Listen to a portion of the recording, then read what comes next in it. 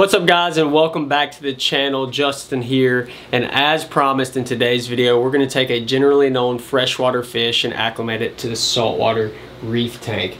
Now these fish are, you know, used a lot, uh, but kind of unheard of.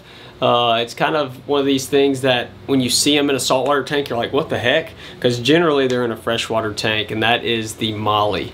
So mollies are great little bitty fish that can help clean up algae and biofilms off of your your reef tank. Generally, you can you can buy them already pre-acclimated to salt water, which I have. I actually have three of them in here and just kind of love the way they bounce around the tank and peck at algae. Being that my local fish store, local saltwater fish store, they didn't have any big ones. They had a bunch of little ones and pre-acclimated they're a lot more expensive because they had to go through the process of acclimating them to salt water. So we're about to head to the store and pick them up and I'll show you all the process of acclimating these freshwater fish because that's where they're coming from is a freshwater fish store into my saltwater reef tank.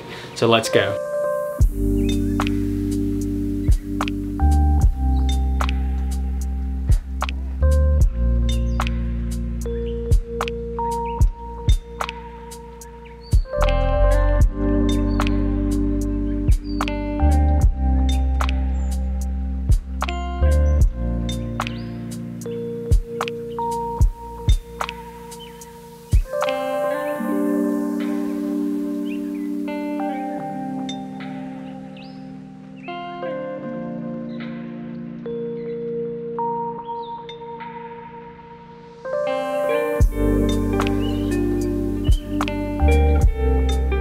going through a bunch of my old freshwater stuff and I put out this old filter. All right guys, so we're ready to start the siphon on the tank. I got I usually just tie a knot in the, uh, the line to control my flow. You can buy little valves and all that, but I don't have one. So we're gonna try the whole knot tying thing.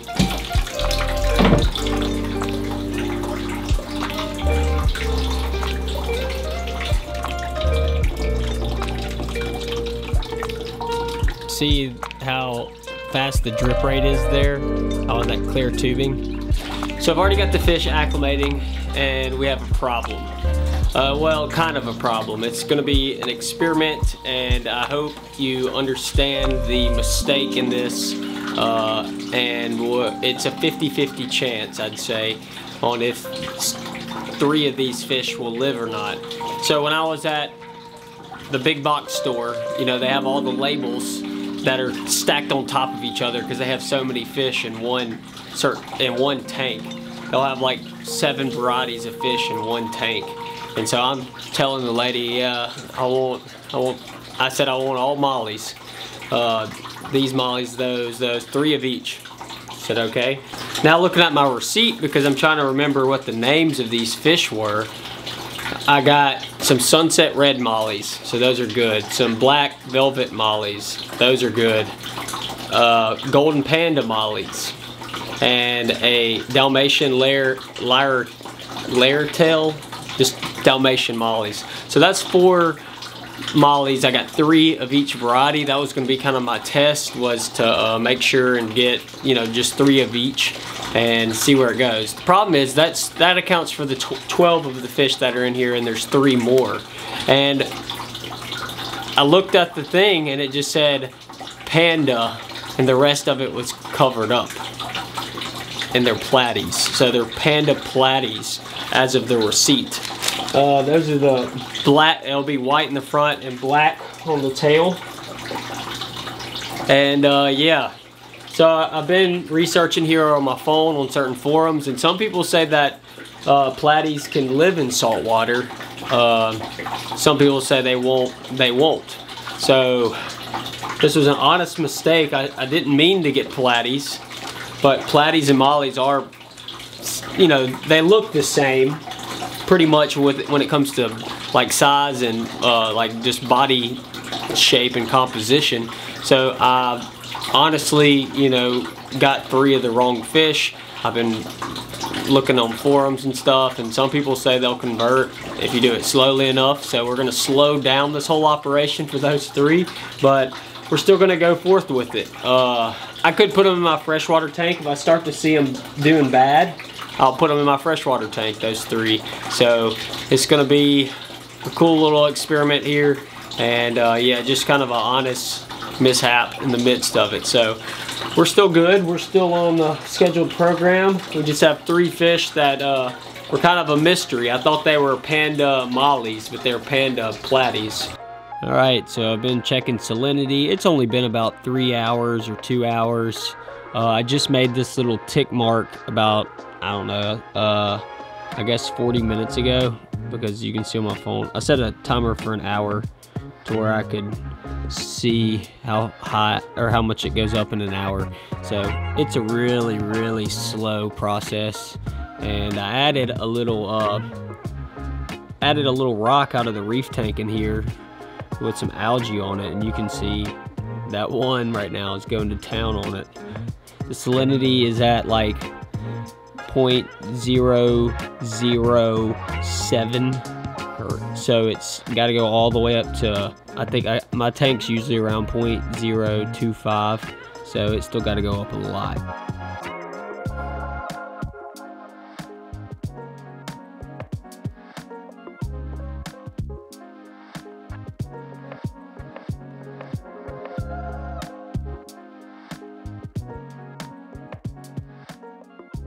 All right, so we are about 26 hours into the acclimation process and here are my findings.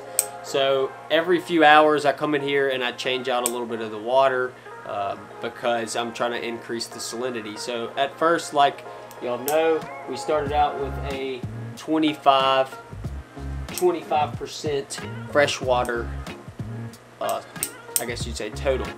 Then I added in well, not 25% because I can only get the water up to here.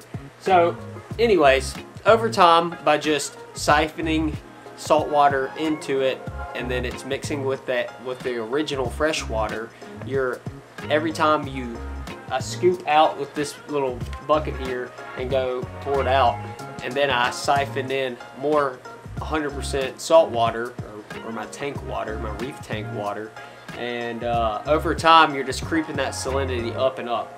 So now we're into it pretty far and I don't know if you can see some of the fish back here but uh, it's not going great.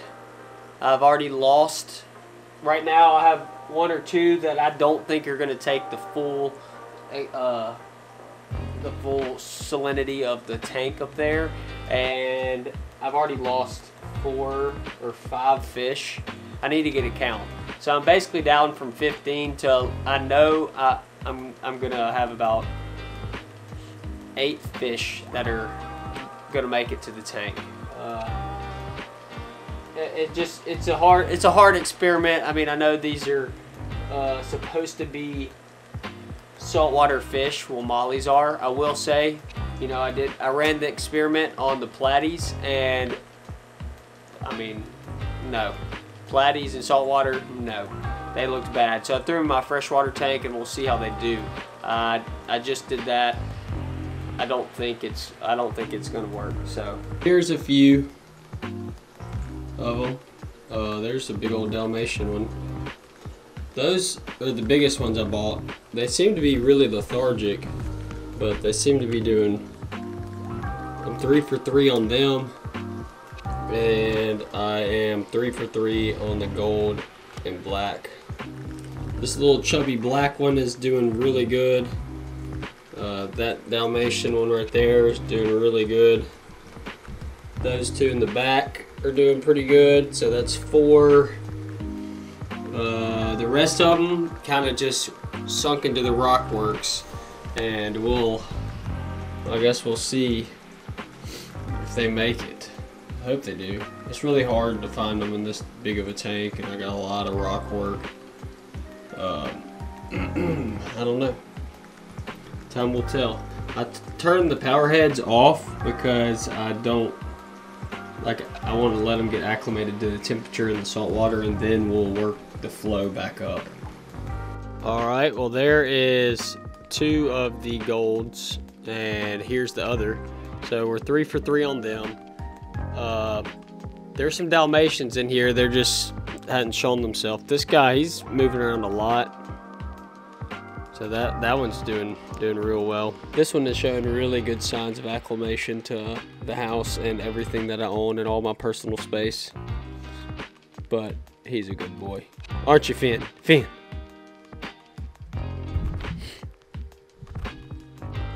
He likes the fish tank. See? What do you do? You like it? What are those? What is it? This is my new, uh, so the clownfish, we're trying to host this alveopora, and between that and flatworms, uh, it was absolutely pissed off. And so I built this little cage out of some, I don't even know what this stuff is. I think you put this over your gutters to keep leaves out.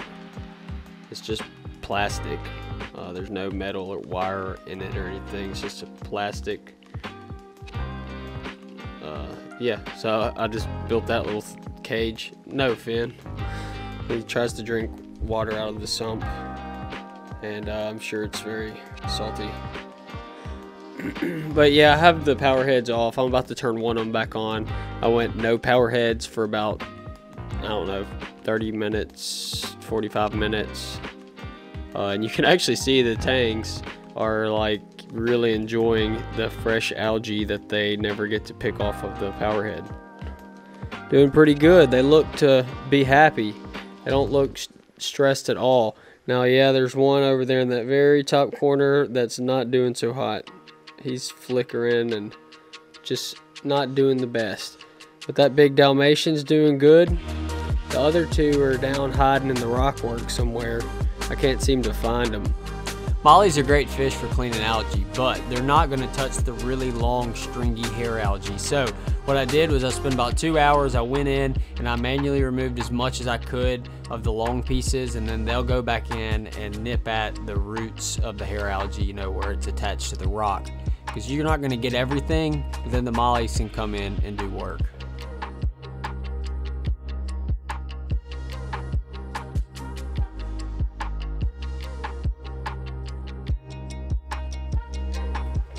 If you ever consider buying a Kenya tree coral, you're gonna have to pick it off of the rocks everywhere. It spreads just like a weed and it's it looks cool, but it spreads like wildfire in your tank.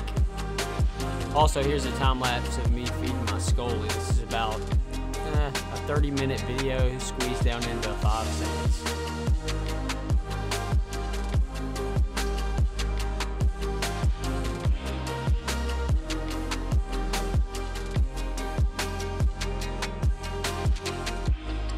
Here's a few shots of all the fish. You can see the mollies are doing well. Well, some of them did well. Here's a few shots of some of the new coral that I've added. I really want to wait a few days before I give you all a final answer on how the mollies did. Right now it's not looking so hot, but make sure and come back in part two and you know give that video a view. We're going to do a lot of things in that video. I'll have some new corals and stuff like that, but this is the end of part one, guys. Thanks for watching.